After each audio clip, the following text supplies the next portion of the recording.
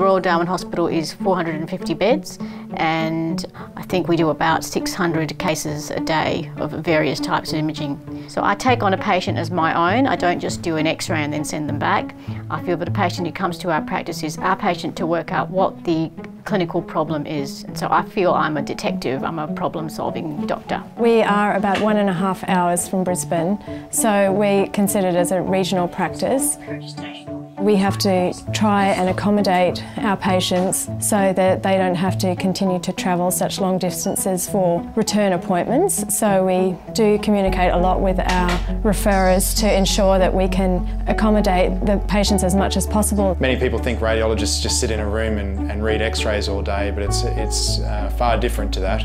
Uh, I'm constantly interacting with patients, uh, helping diagnose and treat patients. Every day is different, uh, there's never a dull moment and the technology in this space is moving so quickly that uh, it's, it's a really exciting uh, place to work.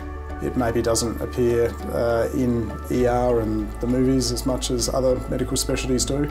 And so I think in the main it's very um, behind the scenes unless you're in the medical world. And I guess then obviously radiology uh, is a quite well known specialty because we service just about all of those specialties with their own unique needs for imaging. To become a radiologist is, is quite a journey. After I finished school, I did medicine as an undergraduate degree for six years and then I worked as a resident for two years. Uh, and then started my formal radiology training, which was uh, five years with a fellowship at the end, and then a small uh, stint in the States. So all up about 14 years from the time I started till the time I finished. In total, that was 15 years of study and training. All up, it's taken me um, 18 years to get to where I am. We worked out that by the time my 10-year-old uh, son in grade 4 finishes school and becomes a radiologist, uh, he'll be finished in 2042. So hopefully I haven't scared him off.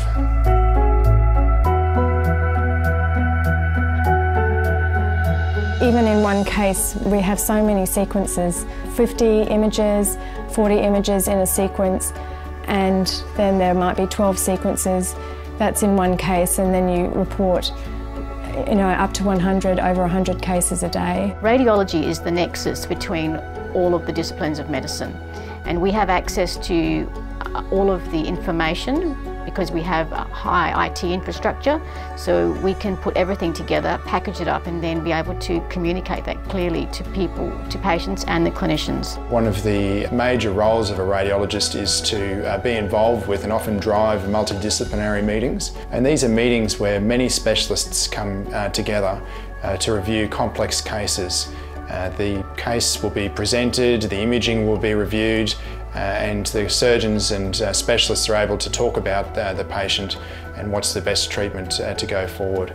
I guess what we can do uh, sometimes with life-altering outcomes, the patient may never be aware of us being involved, but recently when I was on call there was a patient in emergency who'd been there for several hours, was otherwise pretty well but had a little bit of abdominal pain and the country site had asked us to do a scan of his abdomen and so that was done several hundred kilometres from where I was. And on the scan immediately it was clear that his, he had a huge aneurysm in his abdomen that was rupturing.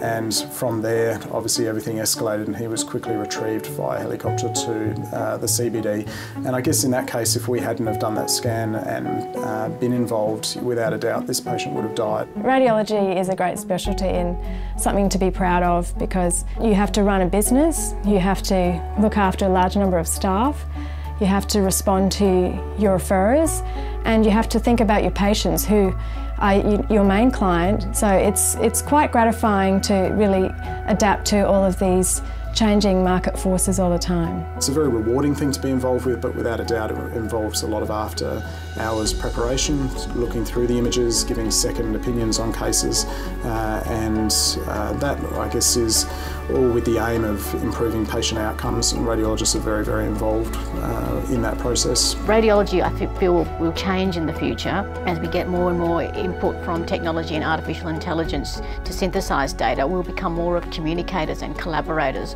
so I can fast track and facilitate virtually any diagnosis in the patient. So I think people don't realise that we're actually integral and the cornerstone of the of patient care. If radiologists weren't here, then the clinicians would we would, would be lost.